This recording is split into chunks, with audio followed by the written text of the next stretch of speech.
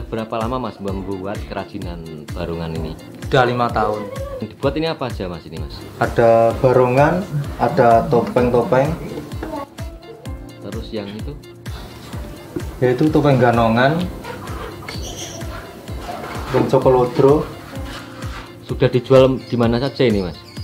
ya di Blora sendiri, juga ada yang di luar kota, ada di luar Jawa.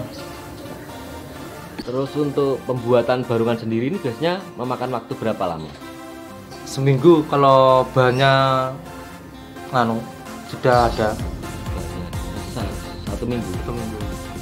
Terus yang yang bahan yang digunakan itu bahan kayunya itu dari apa aja itu mas? Kayu dadap, kayu lo, Yang paling bagus biasanya apa? kayu lo, Kayu lebih lo. ulet, lebih kuat. Untuk di Blora sendiri kayu lo banyak enggak? Ada tapi di hutan, Jarang berarti ya? jarang. Nah, untuk kayu yang apa tadi? Kayu dadap juga sekarang sudah jarang, Sudah jarang di Blora. sudah langka. Untuk harga barungannya sendiri harganya berapa ya? Untuk anak-anak sekitar 500-an. Kalau yang dewasa buat pentas 1.500 sampai 2 juta. Itu modelnya Modelnya model biasa, Yang- pakeman plus Oh, yang- kumul macan.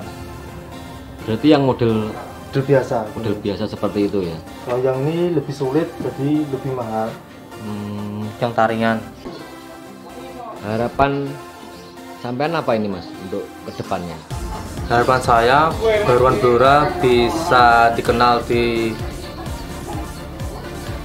dikenal lebih luas seperti Reok Ponorogo yang dikenal di mana-mana di di Indonesia sendiri sampai di luar negeri. Karena peminatnya Baruan Blora banyak ya harapan saya Baruan Blora jadi ikon kota Blora